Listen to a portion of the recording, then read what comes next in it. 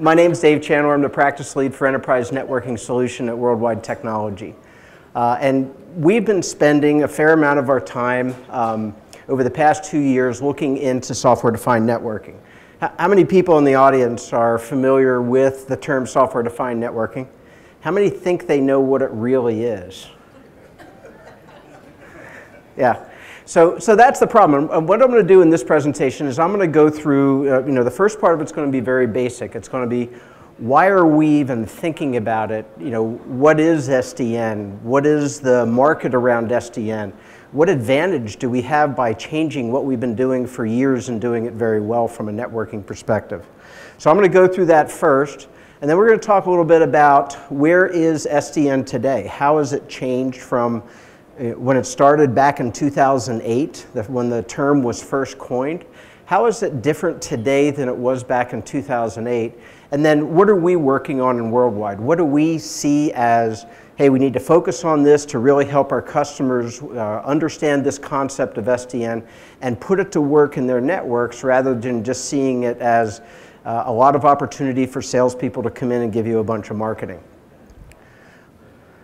So first of all, you, are probably all aware of the, of the hype around SDN. You've seen it on the, on the blogs, you've seen it on the websites. Um, over the past two years, uh, you, see, you saw articles out there that said um, it, it's really a farce. It's not going to do anything for us. It's not there yet. There's no value in it. And now you're seeing much more people saying, yes, we found the use cases around it. We're starting to use it. And there's going to be value of SDN inside of our networks.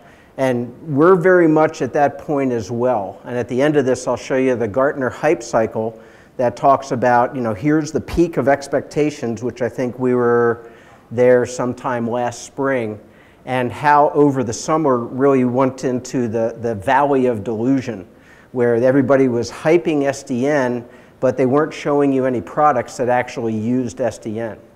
But the, the hype was certainly out there. It started probably out uh, back in 2008 was the first reference that I found to software-defined networking.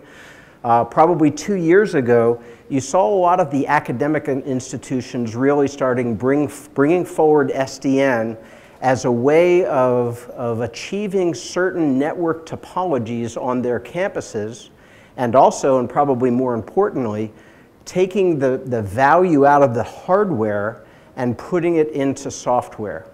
So uh, translate that to, I can use much cheaper hardware and still have the same value than if I buy uh, an expensive box from somebody like Cisco or Juniper or whomever.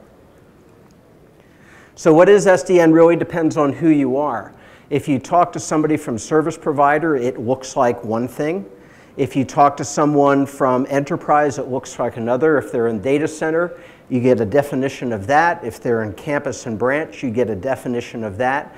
So at this slide basically shows, um, if you can't see it, it's a bunch of guys blindfolded touching an elephant, and they're all describing that elephant or that SDN thing as something different. Uh, so it also introduced a whole new bowl of tech soup. So if you look in here, you'll find um, terms like OpenFlow. Um, OpenFlow is a protocol, and it's one of the first SDN protocols that came out that really got a lot of attention from people who are doing this technology. Um, often confused with a technology called OpenStack. OpenStack has something to do with SDN, but it has more to do with server deployments in a cloud environment. But again, a lot of confusion there. Everybody thought that OpenStack was SDN and SDN was OpenStack. You see vendor terminologies in here like ACI. I think someone was talking to me and said, I've heard ACI about 50 times now, and I have no idea what ACI stands for. So you got a lot of vendors now starting to throw different things out there. Down at the bottom, VMware uses uh, something called NSX. I don't know if NSX means anything or stands for anything or not. Um, but you are seeing you know, application oriented and overlays. So a lot of these are really descriptions or tools for what we believe what uh, SDN really is, is network programmability. So I use this story of, um, in 1992, I got into networking and I bought, I was telling people earlier, I bought the second Kalpana switch on the market. And what was significant about that is everything before that was hubs. Now, a lot of you in the room, some of you are shaking your head, but some of them are saying, well, I have no idea what a hub is. Um, but when switches were Ethernet switches were introduced, it really allowed us to start virtualizing networks to be more effective and cost effective by running multiple uh, VLANs on the same piece of hardware. A lot of us take that for granted right now.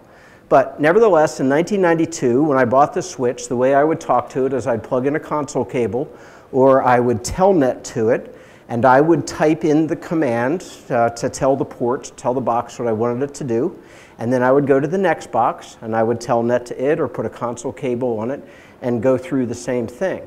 And I would do this box after box after box. And it was okay as long as I had three or four boxes, but um, I was working in environments where there are hundreds of network devices out there. So how can I be very consistent in how I work with that box and how can I be consistent on how I program the box? And a lot of that means I shouldn't be doing it. There should be some robot or some program or some script doing that for me. So what SDN does is it is really a single point of control and configuration and reporting for a network of devices. And that is network programmability. To be able to interact with that box in a programmatic matter, manner rather than interacting it with individual command line entry. So if you get that concept and you go, you, know, you go back to all the things that are in that bold there, ACI is essentially a system that contains a controller. ACI allows me to program a fabric from a single controller. If you look at OpenFlow, that is a protocol that talks from a controller down to a device. So even though you see a lot of different things in here, they're really a description more of the process of network programmability than SDN itself. So why do we even need SDN? What are the business drivers behind it? Okay, it makes it easier for me to do this programming, but that's really not a business driver. That's just a making it easier on the network guys sort of thing. So if we look at this, there's several drivers that have come into play over the past year, past couple of years that have really been key in driving this technology forward. Because if the business owners don't want it or need it, they're not necessarily going to pay for it. So the first one is cloud. Um, cloud started out, and I would say, um, for those of you been in the data center business, you saw VMware come out with ESX somewhere back in uh, 2007 or so, 2006. It lived very much in the development or the DR space for a while because no one was going to trust their key application on a virtual machine. And for crying out loud, it's a virtual machine. So in 2008, you actually saw it come out of DR, come out of dev test, and start being used in a production environment. At that point, you saw cloud conceived and cloud uh, basically enabled and is used today uh, you know, very, very effectively, and the development time around cloud was very, very short. So within that, uh, you, you now had not necessarily cloud itself, but if you look at a virtualized environment, one of the key things that allowed me to do is to move a workload from point A to point B. So I have a virtual machine living on one server, and let's say I want to move it to another server. Now, why would you want to do that? Uh, here's a simple one. I have the physical machine that it's residing on. I want to add more memory to it. If I want to add more memory to it, I can move that workload over to another machine. As a matter of fact, I can evacuate all the workloads. I can then shut down that physical machine, put more memory in it, turn it back on, move all those workloads back onto the physical machine. So it's a very simple but a very cost effective and very business oriented reason for wanting that capability. So now I'm, I'm, moving servers around and it's actually even happening automatically. If you look at process like DRS and VMware, it will automatically load balance the workloads over multiple machines. So one of the, one of the requirements of moving a workload from point A to point B using vMotion and VMware is it has to reside on the same layer 2 network. So how do I do that? How can I, how can I build my data center out so that I have the capability of moving a workload from one end of the data center to the other, and they're most likely in different layer two networks. So that's one of the sort of the problems, the business drivers there was uh, behind creating this whole SDN concept. The second one is video. I don't know about you, but I watch more videos than I read PDFs. Um, and there's two reasons for it. One is I don't need my glasses to watch a video. And the second one is I'm lazy and it's much easier to consume. And the third is I get a whole lot more information. I get sound, I get, I get example, and I can consume information much, much faster than if I read it. Now, everybody's getting the hang of this. So you look at YouTube, you look at um, even Facebook, uh, you look at things, uh, you know, up here we have, um, you know, things like Netflix. These things consume a huge amount of traffic on the internet now. It's estimated that 65% of the traffic going across the internet is video. So how do I deal with that? How do I deal with the QoS? How do I deal with um, providing somebody additional bandwidth if they want to watch, um, you know, basically a football game in high definition? How can, I, how can I be flexible enough to give him more bandwidth and for a cost so that he can watch that show for a particular period of time? Another driver is mobility. So I walk around with three mobile devices on me pretty much all the time. I have my phone, I have my tablet, I have my wireless computer. So how do you deal with now all of these devices, a huge proliferation of devices? How do I deal with them moving from place to place? So I was in North Carolina yesterday. I'm out in California today. I may be in St. Louis next week. How do you deal with that? How do you manage that? And, and you know, how do you control what's going on with that? And then another one that's, that's really interesting now is the sheer amount of traffic on the internet. So if you think about what we used to gauge bandwidth by, we would talk first about ter terabytes, and then we talk about petabytes. Now we're talking about yottabytes. And so I have a question up here is, in terabytes, does anybody know how much a yottabyte is? A million. Order of magnitude or 10 oft, okay? So, but, since you hazard to guess, I'll give you a cup of coffee. So you can, now in, Cal, in North Carolina, this is five cups of coffee. In California, it's one. So. okay, so a, a, terabyte, or I'm sorry, a yottabyte is a trillion terabytes. And it's estimated today that, and then this is probably six month old information, it was estimated last summer that there were between 14 and 16 yottabytes of storage attached to the internet today and it's growing exponentially. So pretty soon we're going to be looking for the next thing, and I don't know what it is. Um, does anybody know what's past a yottabyte?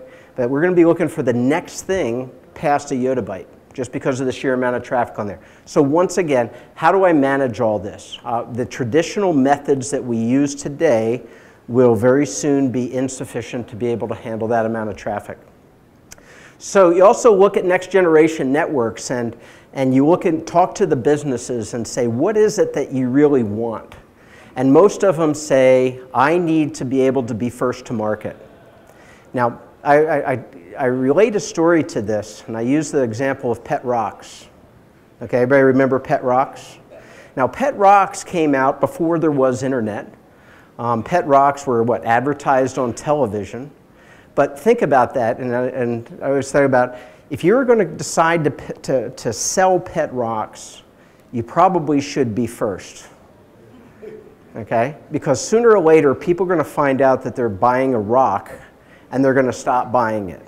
So, how do I get to market first? How do I collect that, that initial enthusiasm about a product and be ready to dump it like a hot rock as soon as everybody realizes that it's really not worth anything?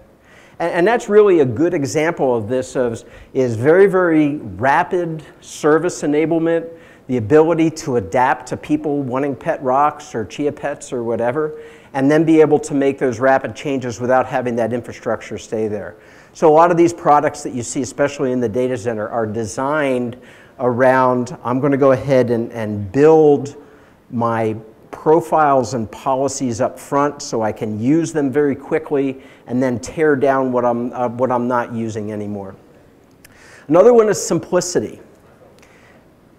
When we start talking about the capability of rapid service enablement, we're not making things easier. As a matter of fact, we're probably making them a lot harder and we're probably making them a lot more complex. So how for the person that's going to be deploying this new service or this new network, how can I make it easier for them? So you can see I built this maze here, and the maze is still there. The complexity is still there. How do I go around that? Because we, as we all know, simplicity is not simple, and you really solve simplicity in a big way with automation. So automation goes back to, remember we talked about scripting and programmable networks. That's really where we're getting into the simplicity is writing the scripts that, yeah, they're hard to build the first time, but after they're built, I use them over and over again, and I can use them very effectively and very quickly. And then finally, if you're going to get someone to fund this stuff, you better have some business value to it. So can I monetize my network? Can I be first and get that, the money from that enthusiasm? If I'm a service provider, can I have someone swipe a credit card and so that they can have more bandwidth for three hours and then fall back to their previous levels? So I haven't really changed the infrastructure, but I'm making more money in that particular time frame simply because they want it.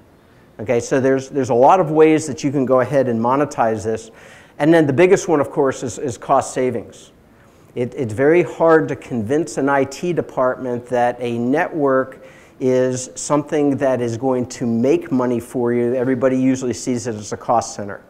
So along with the, the monetizing and the business value of it, can it save you, your company money in the long run? So this is what we've been building to satisfy that right now. We're all, anybody who's in network engineering, how many people in here are network engineers or networking people? Okay, so you're probably familiar with this. We've all made Visio diagrams that look like this. You know, it's got switches, they're redundant, there's mobile links, I've got all kinds of protocols in here where they fail over. Um, the way I view it is this. We've built a bunch of Stonehenges. They're fixed, they're stable, they're not very flexible. It's very sort of hard to move Stonehenge around, but it's been what we have been paid to build. And it's only the change in the business requirements that's driving us to do things differently than we did before. So let's talk, let's talk a little bit about of a comparison. If we go back to the data center and we go to the data center folks and say, okay, so what do you want from us? We want you to be able to keep up with the storage guys and the virtualization guys. You know what? Because they figured it out. They've gone from bare metal to virtualization to automation, all the way out to cloud in a relatively short period of time. You look at AWS, you look at you know, all these services that are out there, they figured it out pretty quickly. How do we do in network and network services? Not so much. So for those of you who don't know what CLI is, it's command line in, interface. It's David sitting down typing in those commands to all the boxes out on the network. And at the end there, the only real advancement that we've made since I started networking in 1992 is that we've encrypted that CLI so no one can tell what we're typing and sending to that box. But we really, if you think about it, we've gotten no further. 1992, there's David configuring his Kalpana switch. 2014, there's David configuring a, a Nexus 7000 exactly the same way. I didn't learn a darn thing. Okay? So this is really where we need to move further. So the fact is, is no, no matter how advanced we've gotten in hardware, no matter how advanced we've gotten in our operating systems, where we, and I talk about the network community, is still behind in two things that really matter, agility and mobility. And that's what we really need to fix with, with um, software-defined networking. Now, for those of you who have been in networking, I pose a question. You have this concept now of Stonehenge, rock solid, stable networks and the new business need for agility are these oxymorons. Can you have something that is agile and something that's stable at the same time? And that's the trick. Okay, so let's talk a little bit about software-defined networking. So uh, the answer is, I don't know. Yet to be seen. Um, you know, because if you think about it, if you're changing things, you're not going to be as stable as if it's in there. So there's going to be a balance between what is acceptable. It's, the way I look at it is when we used to talk on our landlines, if you're back doing TDM telephony back in the 90s, there used to be ads on, you know, pin drop. I can hear a pin drop, okay? The quality, the stability is so good that I can hear a pin drop. Now when you, now you, when you go and you listen to the cell phone commercials, it's can you hear me? Or this network has fewer dropped calls. So our standards for telephony have changed dramatically because of, of the business drivers. Are we going to have that same thing going on in, uh, in networking? And, and part of SDN, if you, if you drill down a little bit deeper into it, there's a process called DevOps, and that is really the process of developing your applications and your process and deploying them very quickly, accepting problems and errors, and very, being able to correct them very quickly which is very different from what we do now where we wait for updates for major updates for operating systems. This is a constant rolling process. So I think that's going to change how what we consider stability. At this, I don't know if that answered your question or not. Um, so today's networks are defined by the box. So if you think about how we're networking today, we deploy a bunch of boxes out there. They all run their own operating systems, so they have separate policies. Um, there's distributed algorithms between those boxes. It's called spanning tree or OSPF or EIGRP. And they allow you to build these federated systems of independent boxes.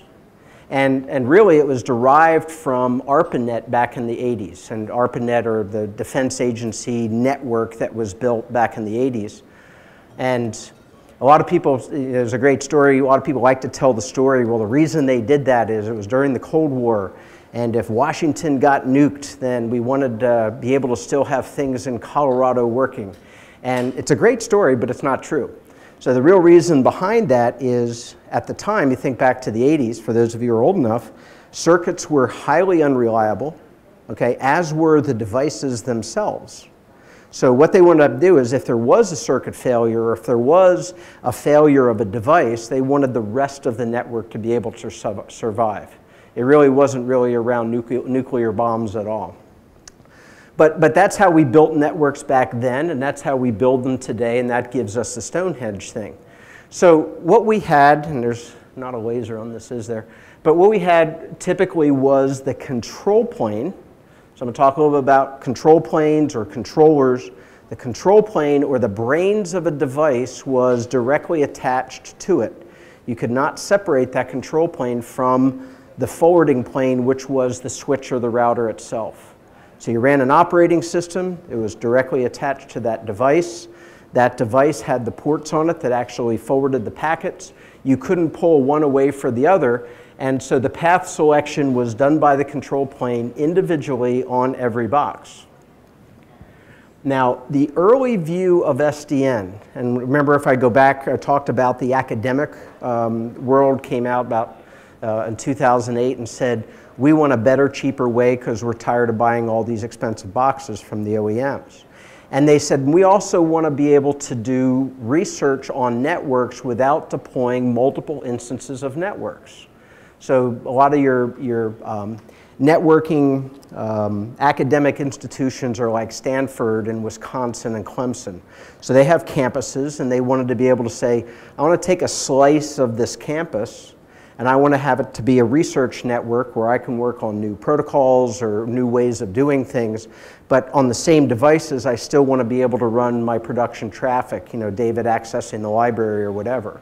So another, um, so with a particular protocol that they came up with, uh, they were able to um, use a single controller, talk to multiple devices, and because they had a view of the entire network, they could create slices through the campus and give it over to the, to the uh, research group and still have production on the same box. So when people talk about um, OpenFlow, that is actually one of the use cases for OpenFlow is campus slicing. So they had a single control plane, so I had a single controller, and as you'll see later on, these are very often were open sourced based controllers. And they would use the OpenFlow protocol, which is a single southbound protocol, to talk to the OpenFlow enabled switches that were out there. So now I could you know, think of it as a global view of the whole campus. I could see end to end the devices in my campus and I could define the path of the packets through that or the flows through that network from one end to the other. And then I could create another virtual instance of that on the same box and have, a, have essentially a separate network going through there. So it, it and then coming into the, uh, to the controller from the northbound, I had a common protocol. So the common pro protocol is HTML or uh, HTML5. So the whole idea here is I would talk in very general terms to the controller and the controller would then use through the northbound API, and the controller would talk to the devices and give them specific commands through the southbound API. And I have a picture of this a little bit later on the slideshow that'll help with that a little bit. But it was, you know, it was the early view of it. I call it the purest view. It was very academically oriented view. Um, the OEMs were not involved at this point, um, and you'll see a little bit later while that changed. So this is what it looked like. You had a control plane. Notice there's only one yellow circle now. And it had a, a, basically the control traffic went down to the devices and told them how to forward packets, and they would forward the packets. Now the current view is a little bit different. And if you think about that, if I were to go back to that, to that early view and say, okay, I want to I want to deploy SDN, and I had a typical Cisco network, I would have to rip it all out, okay? And I would have to deploy boxes that supported OpenFlow. And I would have to find someone that knew how to program. And I would have to teach my operations people how to support this network. What's the likelihood of that happening? Like zero, okay? But, but still, in some academic institutes, there are parts of our networks that actually did that. So if we go, if we modify that a little bit, we come up with a pretty good story. So let's keep that a controller, because a controller is a good thing because it allows me to see the entire network. And let's keep that common protocol coming in northbound. Let's keep using HTML5. It's well known, it's easy. And let's change it by having now multiple southbound protocols. So how, what do I mean by southbound protocol? Well, OpenFlow is a, uh, a, a new protocol that allows a controller to define and you know to program a box to define the, the paths. What are some other ones? Well, CLI. Remember CLI? CLI was me typing in, but what if the controller typed those commands in? It's a southbound protocol. And it can still talk to all those boxes down below it. And I'm just talking to the, in through the northbound protocol to the controller. How about SNMP? It's something that if you're in networking, you should probably know that, simple network management protocol. If you're into service provider, what about something called uh, NetConf? Again, it's been around for years and years. And what if vendors like Cisco and Juniper and, and others wanted to say, i have APIs or application programming interfaces that are specific to Cisco or Juniper or Brocade, and I want to use those mechanisms to have the controller talk to that box simply because I can expose features of my box that are maybe not available through uh, CLI or some other mechanisms. So what I end up with now is essentially a controller that accepts a single common language coming in from me, the programmer, or from the application that's driving it, but can talk multiple languages down to the boxes that are underneath of it. And more importantly, I can talk languages that my current boxes already understand, so I don't have to rip out my network. So you can see where this one came from. It came from the vendors. Okay? So they created a consortium called OpenDaylight. And they said, you know what, this OpenFlow thing is a great idea. This controller thing is a great idea. But we need to broaden that so people can still use the products that we've sold them for years and years. Okay, so I'll go through a little bit more about OpenDaylight later on. But let's talk about separation of control plane and forwarding plane. So one of the basic tenets of SDN is the ability to take the brains of a device and move it into a controller so that the box itself doesn't contain the programming aspect of it, just the forwarding aspect of it. Is this new? And the answer is no. Uh, anybody in the room, uh, an old IBM mainframe guy? There's usually, yeah, that can tell back there. So there's always one, okay? And there's always at least one. So if you look at that and you, and you talk about um, SDL, SDLC in IBM mainframe networks, you had this notion of a controller and endpoints. So essentially, that is a separation of the control plane where you're putting that up into the primary controllers and you're having the secondaries be slaves. If you look at a technology called performance routing, once again, I have a head-end device that is managing the devices that reside outside of it or underneath of it. How many people are wireless guys here? Yeah, the wireless guy is just going, I don't get it. We've been doing this for years. So when wireless first came out, you got an access point like you had at your home. They were, every one of them was autonomous. Now listen to this story because it's going to sound familiar. You would take that device, you would go ahead and put it out into the network, you would telnet into that device, you would configure it with the SSID and whatever, and whatever security you were doing it, and then you would move on to the next box. And very quickly, the wireless guys figured out, boy, this is a really stupid way of doing this. Why don't we have all the control or all the access points be slaves and have a single controller and, and just talk to that controller and have it manage all of the APs? So if you go down, but the wireless LAN controller technology has been around for what, five, six, seven years? So they're all looking like, well, you, know, you, you electrical guys probably now just finally figured it out that this is a pretty good idea. So it's not a new concept. It's been around for, for quite a while. So if we talk about um, what's going on in the controller world, so I'm going to go back to open source technologies right now. And then we'll talk also about some of what some of the vendors are bringing into the market as well. So back to the academic days, they're all about open source, they're all about free. So they, were, they would have projects out there where people would contribute code to an SDN controller, and probably one of the most popular ones out there today is called Floodlight. So Floodlight is an SDN controller. It happens to be an OpenFlow controller, but you can go out to a number of the Open Network Foundation and you can download a copy of it, you can install it on a machine and you can run it, and if you have OpenFlow enabled devices, you can build yourself a software-defined network, okay? Um, but the problem, problem with this one is it only handles OpenFlow. Now, we use a similar device inside of World Wide, and I'll show you one of the projects we're working. So it's not like this is, you know, forget about this, you'll never use it. It actually does have a place for certain applications. I talked about when the vendors got involved with SDN. Remember the academic guys are saying, all right, it's all about OpenFlow. The vendors are saying, hey, wait a minute. Um, our customers want to be involved with this too, but they don't want to replace everything. So the vendors started some, a, a, basically a consortium that they called OpenDaylight. And in OpenDaylight, the vendors and individuals could contribute code to a controller that they called an OpenDaylight controller. And the OpenDaylight controller involved those multiple southbound APIs, and they involved the, the vendor-specific APIs inside of that code.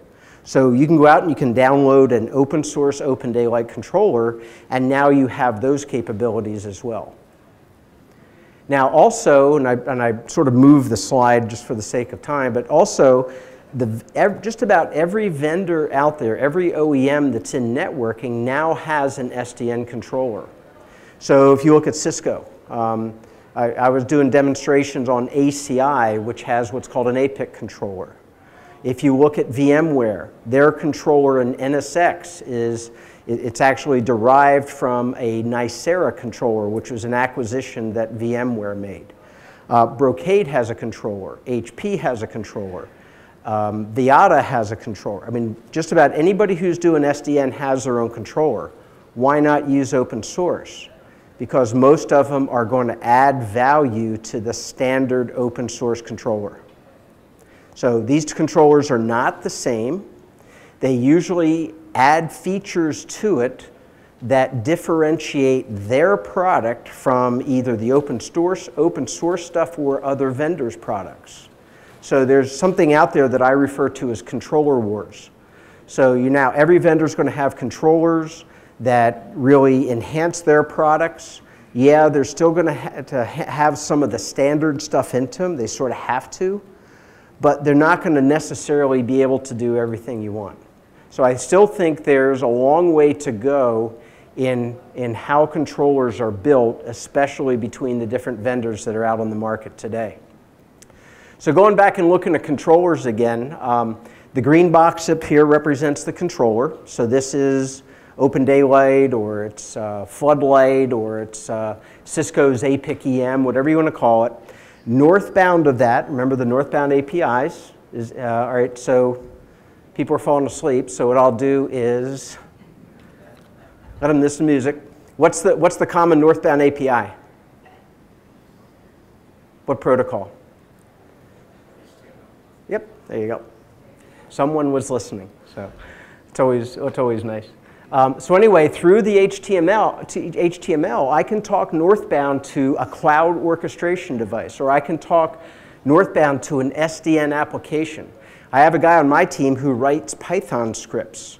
And so he can build a web page and he can, I can put in very simple information and hit submit, and he will take that information, put it into some pre-made script, and dump it down to a switch and configure it. Okay, so you can do that with an SDN application. And then there's also other applications out there as well.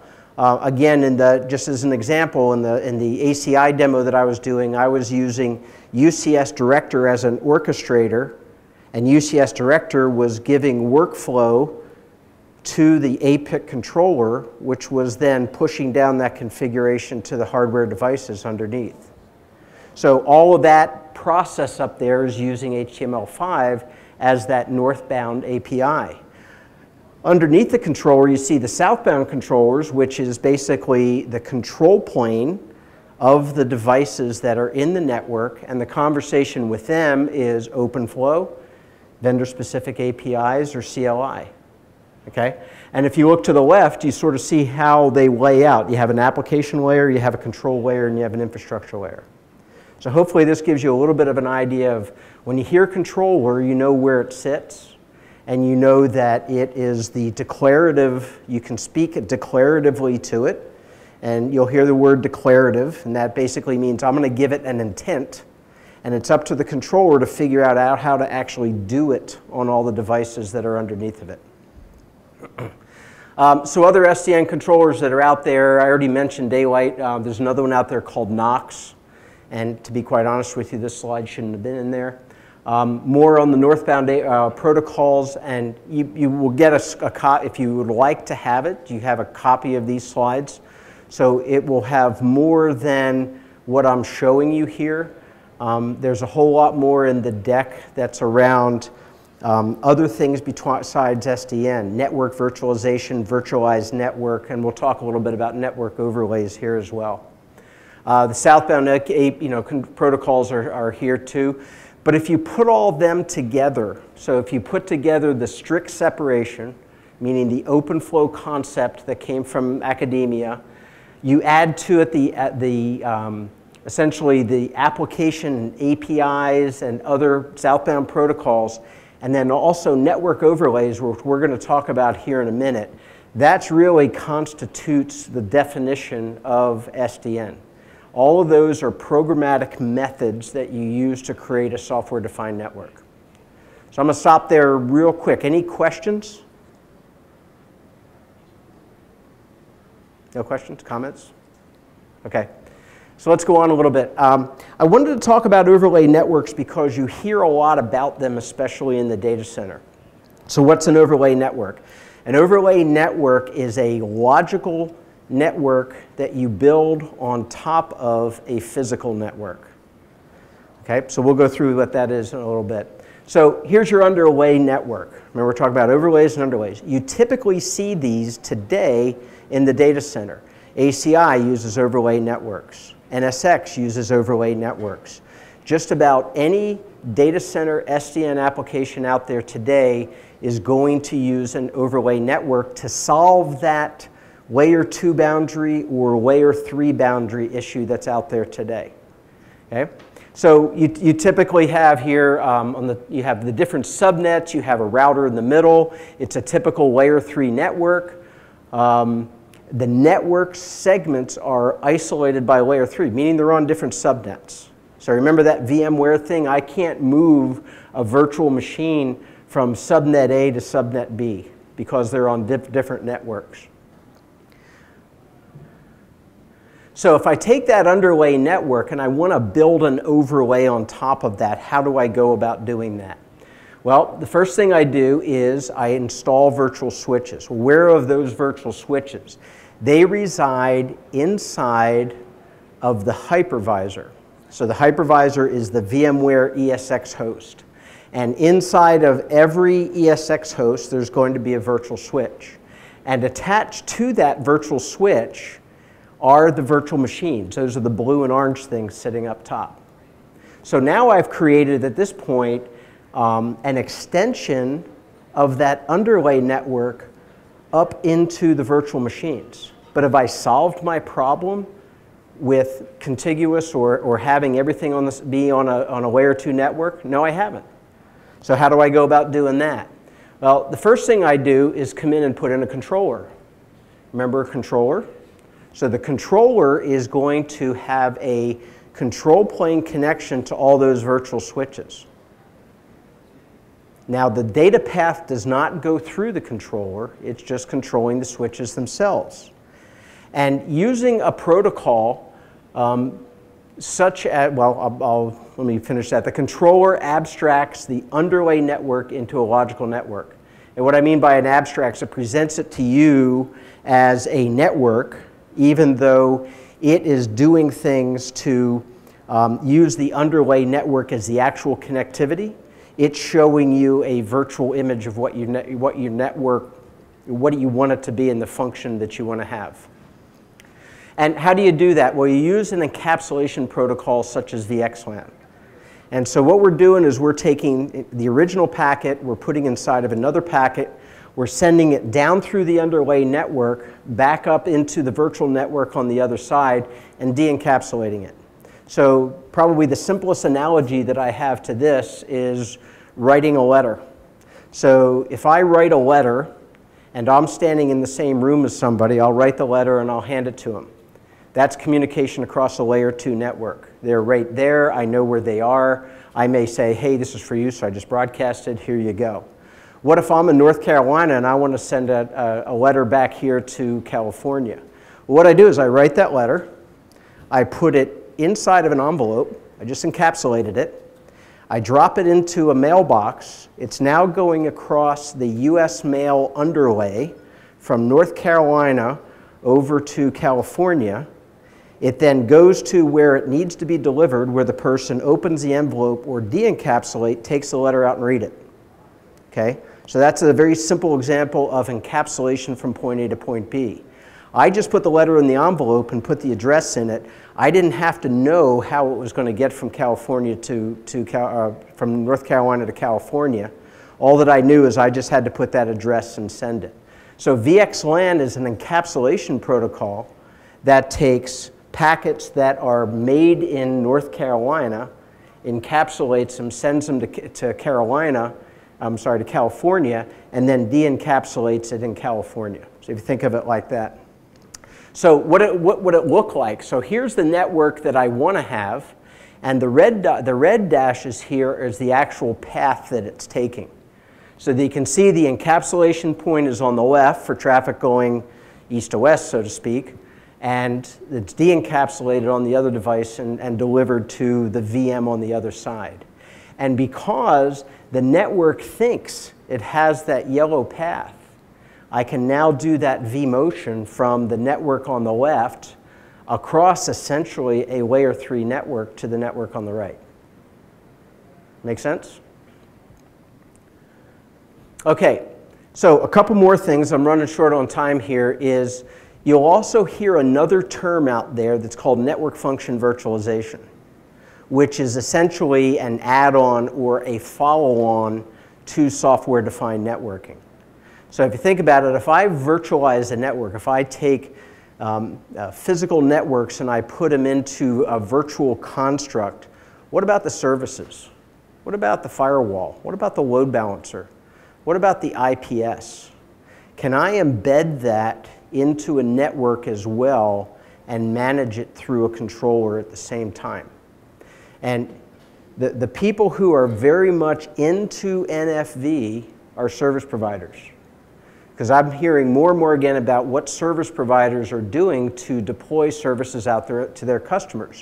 What they used to do was go out to APC or whoever, get a rack, put a router in it, put a load balancer in it, put a firewall in it, put a UPS in it, bundle it all up, ship it out to the customer site, okay? They would then have a technician go out, cable everything up, and turn it on and configure it, okay? Now what service providers are talking about doing, talking, is sending a server to the site. And on that server, I'm going to have a hypervisor. And in that hypervisor, I'm going to have virtual images of a router, virtual images of a load balancer, virtual images of a firewall. And when I plug that server in, it's going to call home. It's going to get an IP address off of DHCP. It's already programmed to go to some site where it's identified by like a MAC address and says, oh, well, that's David Chandler's business. Go ahead and configure the router in this way, configure the firewall in this way, configure the load balancer in this way, and I'm done. So network function virtualization is taking a lot of that functionality that used to be done in hardware and embedding it into a virtual instance or in a virtual, uh, without an appliance. I'm embedding it into the network. So a couple of, of key players and startups. I'll let you read that later on. And so I come down to what is, and what is really the definition of SDN? An SDN essentially is a flexible, it has to be. It's programmatic, and it's a framework because I want to use, remember SOUP? I want to use a lot of those different tools and techniques that allows me to optimize the delivery and management of a network. And it's really driven by, in many cases, business requirements of hyperscale growth in data center, in operational costs and complexity, and, and then also the different delivery models that we have today. So, you know, a whole other topic to talk about is if I'm sitting out at a branch site how is what I'm doing different than what I did even two years ago? So now, instead of everything being in my data center, I'm going to Salesforce.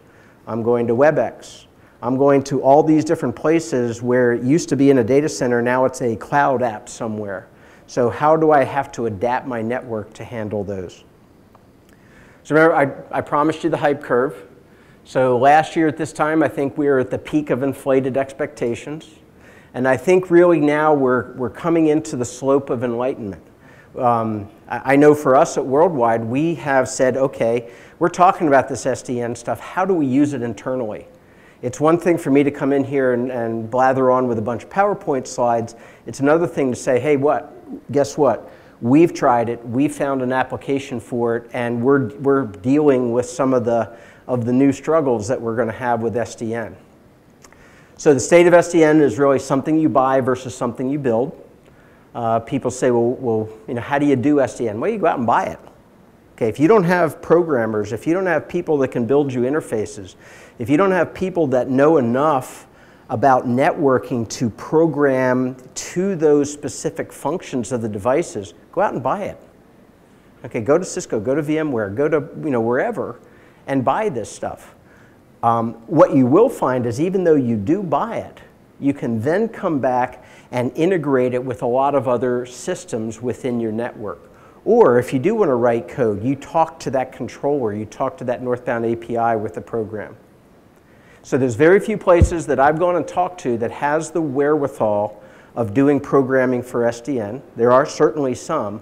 Most people are going to go out and buy SDN technologies from an, from an OEM. So what are we doing? We've done a ton of workshops on SDN. Um, I've probably given you know, this presentation, which usually is stretched out into a four-hour period, which puts lots of people to sleep. Um, but, but we've done this over the past two years. You know, that number says 65. We're probably a good 10 or 15 above that right now. And mostly because people don't understand what SDN is. And it's, again, there's been so much hype about it, there's been very little definition around it. Um, another thing that we've been doing with, within our company, and we have, oh, by the way, if you go out to our website, there's a, what we call a use case document. Um, so as we go around to different customers and they say, well, how, how can we use SDN? We collect them and write them down and say, here's some use cases. Some are very technical. You know, it's like, how do you black hole packets in a router? Okay, that's one use case. Um, probably a bigger a better use case is something like this where we have monitor manager.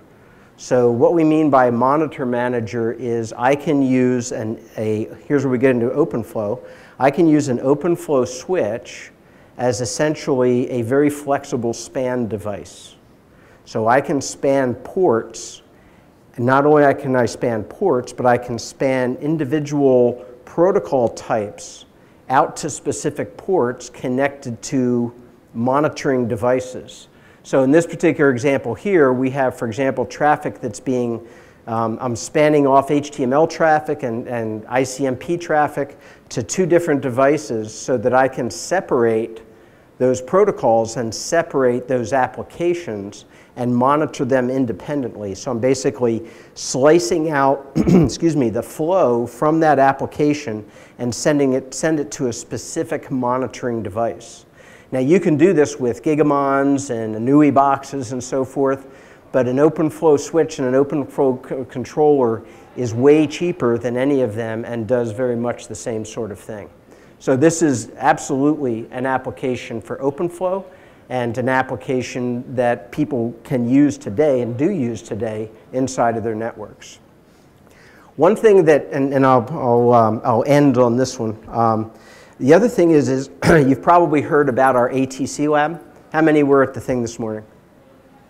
Okay, for, for those of you, anybody who is not a WWT employee, can you tell me what ATC stands for? There you go. I'm required to ask that question and reward it, by the way. So, so in, yeah? I helped design it. Okay.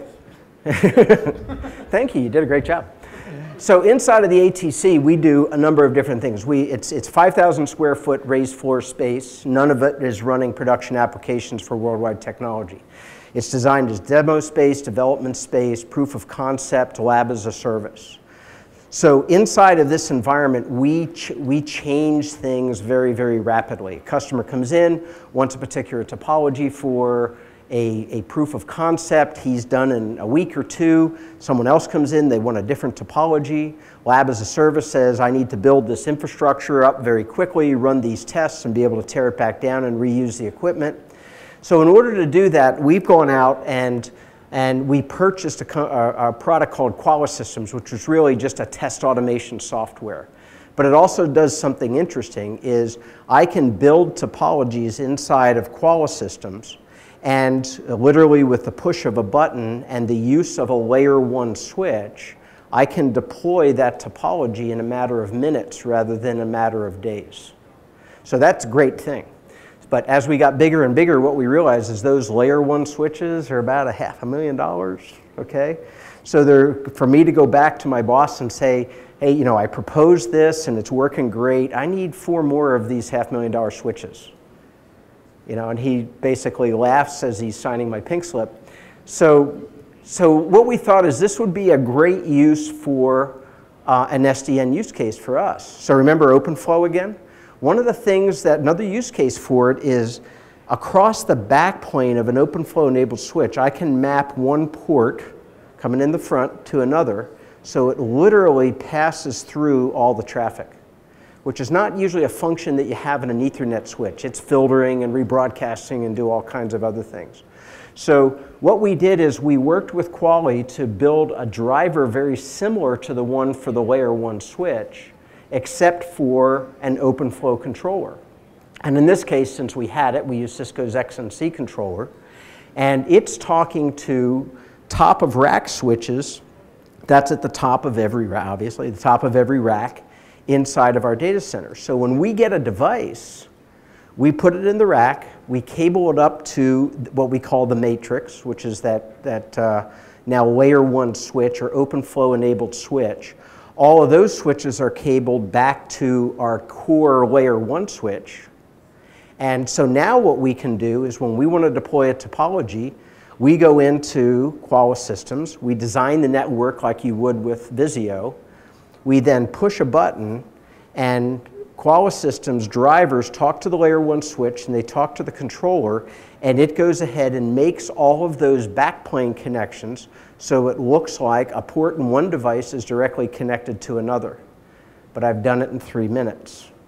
Okay? So now we can do what's called lab interleaving. So I can run a lab, a topology, I can bring up topology, I can run it for three hours.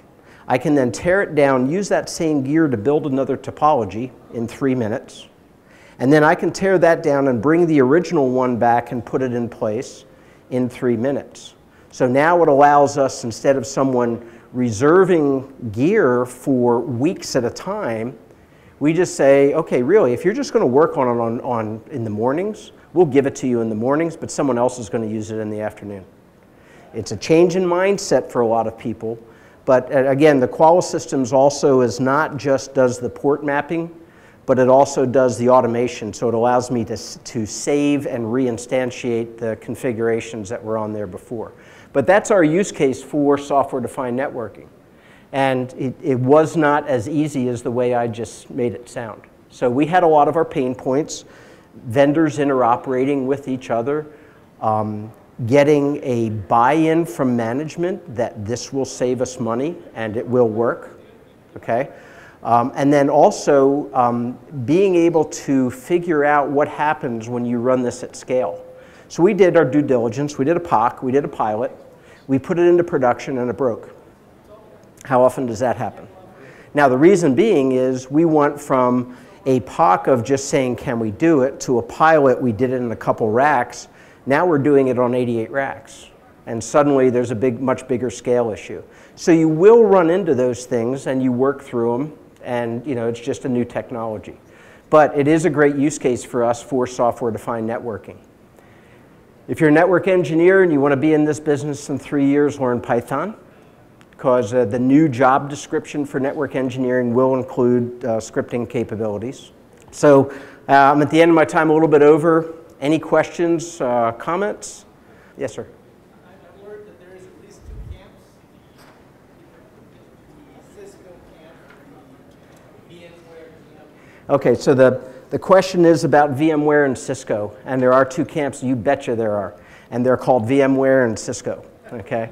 Um, so uh, VMware and Cisco used, and, I, and, I, and I'll, I'll be real honest right now, I worked for Cisco for 12 years. But during that time, we were really, really good friends with VMware, so I don't quite get this. Um, VMware and Cisco both want uh, to, to be a dominant force in the data center. VMware acquired Nicira, and Nicira was a controller um, you know, that was really, at the time, aimed more at service provider, but they figured they could use it as enterprise as well. NSX is a very good product. It does you know, things that ACI can't do. However, it is limited entirely to a VMware environment. So if you have bare metal servers, or if you have bare metal appliances like load balancers or firewalls, they are not involved with NSX at all. NSX also, and a lot of their sales guys and the engineers know better, will tell you that I can deploy NSX on top of any underlay and I don't have to worry about it. Okay? And obviously, if you've ever been in, in the world of networking at all, you know that that's not true. Cisco's ACI is really a more holistic view. So it manages both virtual and physical devices. The, the, the issue that a lot of people have problems with with ACI is it requires you to buy new hardware. Okay? So it- what, what's really interesting is when we go and talk to customers, and, I, and I'll be real honest here, the, the VMware guys or the VMware salesmen will go talk to the virtual administrators. And it's a no-brainer to sell NSX to the virtual VMware administrators.